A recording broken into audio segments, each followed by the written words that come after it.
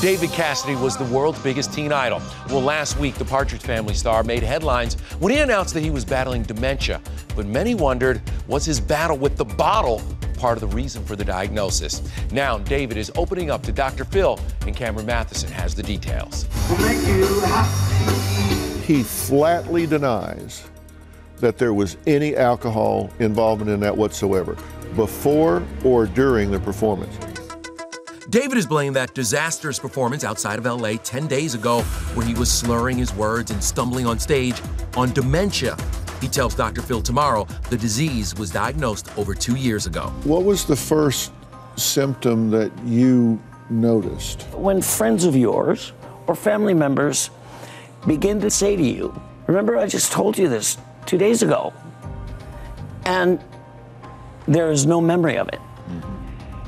That's when I began to uh, be very concerned. Was that what caused you to say, I need to go get myself checked? Oh my God, yes. But Dr. Phil is somewhat skeptical about David's claims of sobriety that night.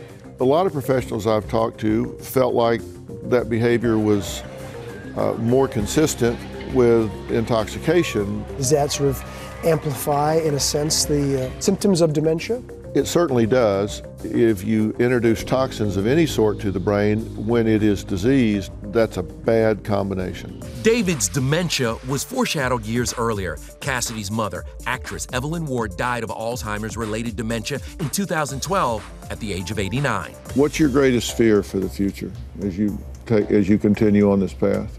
Being in the place that my mother was the last two years of her life where I would completely disappear and I'd just be a burden to caretakers and couldn't walk, couldn't talk, couldn't sing, couldn't play. That's kind of my greatest fear, actually. Are you having trouble performing? No. As for David's assessment of his now infamous show, I asked him how he felt the concert went. He thought it went just terrific.